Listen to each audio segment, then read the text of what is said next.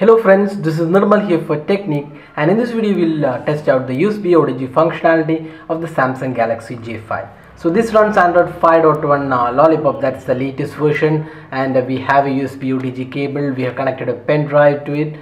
Uh, now let's uh, insert this uh, device, insert the pen drive into this device and see if it is supported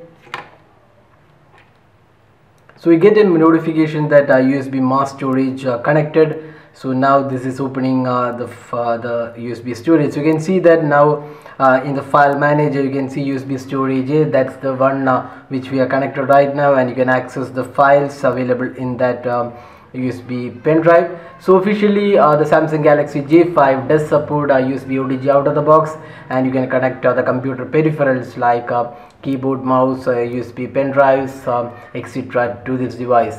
So uh, this runs Android 5.1 Lollipop with a custom uh, UI from Samsung. So Samsung Galaxy J5 does support USB OTG out of the box and uh, we have demonstrated that in this video. So that's all guys. Uh, that was a quick video uh, on uh, the USB OTG functionality. So hope you like this video. If you have any queries drop in a comment and we'll be glad to help you out with the queries. If you like this video do hit the like button and also subscribe to our youtube channel for more videos. Thanks for watching this video. Have a great day